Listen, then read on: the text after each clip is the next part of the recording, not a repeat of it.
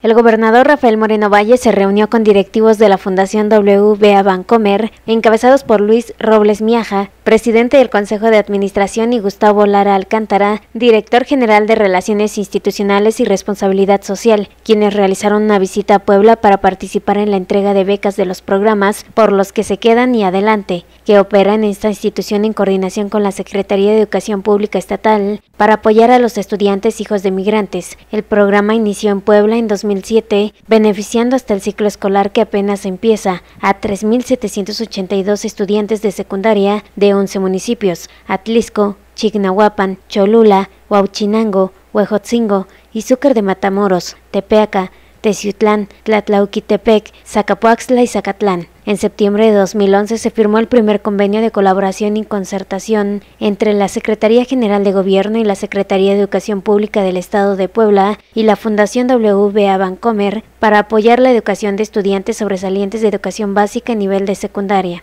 A esta reunión en Casa Puebla también asistieron Roberto Moya Clemente, secretario de Finanzas, Ángel Fernández Carvajal, presidente del Consejo Regional de WBA Bancomer, Sofía Iseil